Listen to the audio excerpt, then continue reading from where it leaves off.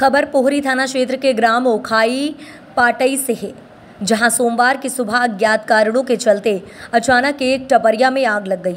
टबरिया से आग की लपटें उठते देख पड़ोसियों ने कड़ी मशक्कत करके आग पर पानी डालकर आग पर काबू पाने की भरपूर कोशिश की, लेकिन तब तक टबरिया में रखा गृहस्थी का सामान जलकर खाक हो चुका था। आग की चपेट में आने से आसपास की दो टपरिया भी जलकर राख हो गई।